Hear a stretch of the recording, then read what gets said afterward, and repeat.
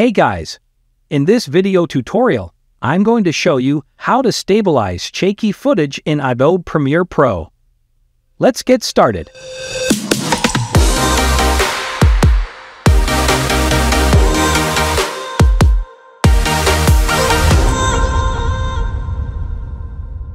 First of all, import your footage on the timeline.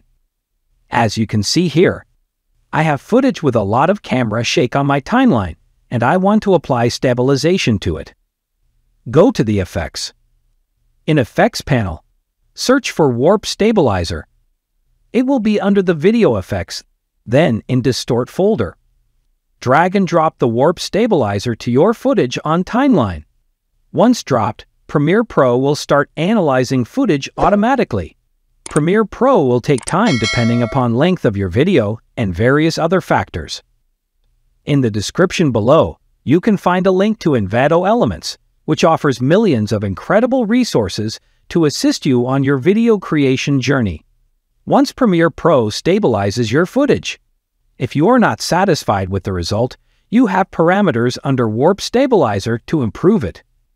Under stabilization, then result, you can change smooth motion to no motion for creating an effect of stationary angle of the footage or select smooth motion for removing the shakiness of the video.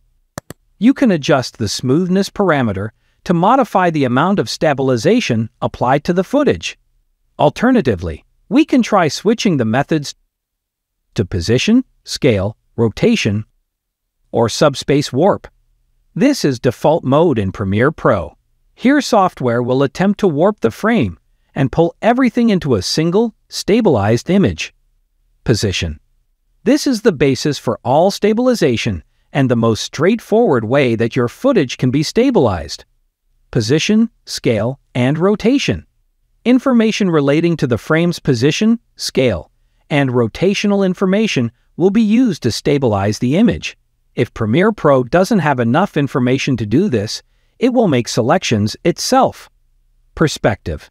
This method takes all four corners of the frame and affects and pins them, using this as the method of stabilization. Once you have chosen the parameters that will work for you, Premiere Pro will now analyze your footage, and once it is done, you can check the stabilized footage with your requirements.